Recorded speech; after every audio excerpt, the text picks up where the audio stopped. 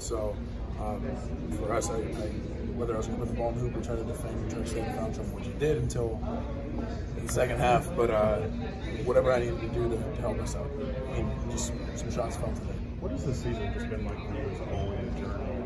What your expectations were and some confidence issues and getting back to kind of round before? Uh, every season's a roller coaster. I have, I've had seasons like this at Bucknell where you start out well or you start out poor and you finish strong, and that's that's the best thing for me is just trying to finish the season out strong and, and finish the regular season out strong and finish it out on top, and, and that's what we're trying to do. And personally, I'm trying to do the same thing. We had a little bit of a slump in January and just trying to finish the season out strong. What do you think it says about Immanuel that he doesn't shoot well three for ten, but double figure rebounds, and you know, know the other stats. No, he, he- really contributed. Yeah, he's a he's a winner. That's what you need. If you don't make all your shots, he's gonna make all his free throws. Had what, 11 rebounds, 10 rebounds? Like, yeah, he's it's huge, and and he's he's been doing that for us. How tough is that for a player to do? Because everybody lives for making shots, right? He's a mentally tough kid. You see him when he's at the free throw line, nothing phases him. And miss a couple shots, he's going to shoot the next couple, so it doesn't matter. And, and he's a shooter. And shooters shoot, and that's what he does, and that's what he does really well. How big was the crowd today? That's a big, I mean, that's awesome. That's that's a big time crowd for us. Gets gets us going. Gets a little bit of momentum. We hit a couple shots. Crowd's behind you. Like four minutes left. Uh, we had a little bit of a lead, and crowd started getting into it a little bit. They missed a couple shots. We got a couple more possessions, and kind of just put a fork in them. Coach Pearl said I asked him why down at Auburn they really attacked the rim, right? Mean, again and again. Today and they were shooting a lot of threes. He said he didn't think they'd get calls Uh, on the road. How does that play on your mind? Uh, I don't know. I mean, our, our whole thing was trying to limit their drives and force them into tough contested jump shots, and I think we did a really, really good job of that today. Uh, and then make sure that we hit first. We watched the film the other day, and they killed us in the glass. I think we ended up tying them today, which is big, and they, they rebounded the ball really well. So. Nate, did you all feel like you had anything in particular to prove today because of the first Auburn game? Because there were some questions about the, the quality of teams you all been beating against a really good team to go out there and make a statement. I don't know if we had anything to prove as much as just kind of within our our team, just knowing that we can do it. This is a team that you might face in March, or a team like this that you're going to face in March, and that's what we're playing for. And and a team like this today at home towards the end of the season to get a win like this is, is huge for us, and it has it carries a lot of momentum going into the next game and the next two. Coach was also Three-point shot you get feel. How that feel? That big three-point shot. Yeah, no, it feels good. You see one go down, you feel like everything's going to go down, uh, and kind of have a little bit of confidence going into the next one.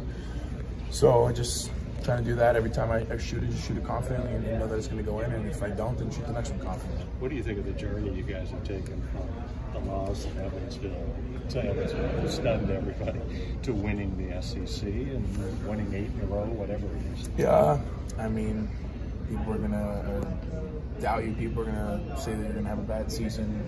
Everybody thought we were going to be a poor three-point shooting team at the beginning of the year. So uh, just with, within our team, just trusting and believing in everything that we're doing in practice is going to pay off and, and all the hard work that we do and all the shooting and all the extra workouts and conditioning and lifting, everything's going to pay off and it has. And we're, we're playing really, really good basketball and uh, got to give a lot of credit to our coaches for that and to our strength coach and our trainer Jeff, keeping everybody healthy too. That's big for us, especially at the end of the year. Um, and just, I don't know, it's, it's like I said, it's a long season and we're going to take stuff early and SEC champs. the reason I asked the coach is kind of making, kind of using humor, Yeah. saying yeah, everybody talks Evansville, Evansville, Yeah. Evansville. Do you guys hear? I mean, you know, I don't. And we hear- block it out. It's, if it's not within the team, it's not within the locker room, then it doesn't really matter to us. And that's how everybody is in the team. Maybe Cal says one- these titles aren't something that you guys really shoot for. It's about what you guys learned for that victory. in Yeah. What have you guys learned on this run and this eight-game win streak and, and winning this? I mean, I think in March, you got to win six games to win it all, right? So for us, winning eight in a row proves that we can do it. Uh, and just, we got to kind of carry that momentum going forward. Um, but it, it shows us that we're, we're mentally tough enough, physically tough enough to finish out games and to win close games and hard games and hostile environments. And, uh, but going against a team like this, we can do it. Nate, you got for one. the great win. Absolutely, especially going into last couple, uh, last home game, and then one more away game, and then it's the SEC tournament, and, and uh, that's you've got one more game at home. Just what is this year kind of meant to you and versus what you expected coming into this?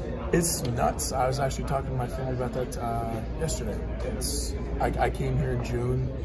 It's kind of wide-eyed and, and shooting for the stars, and, and the fact that it's already March, it's February, but it's gonna be March, and I got one more game at Rupp is, is wild to me. Remember my first game here on my visit, I was like, man, I can't wait to play here.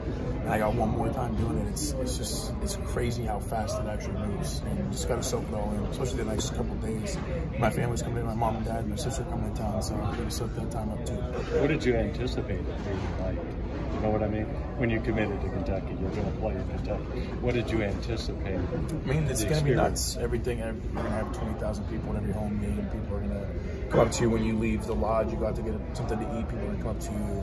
Uh, all that. I mean, it's crazy how much people actually support you when even people you don't even know and they know everything about you. So it's it's all love and it's great. And for us, it's it's great to have that.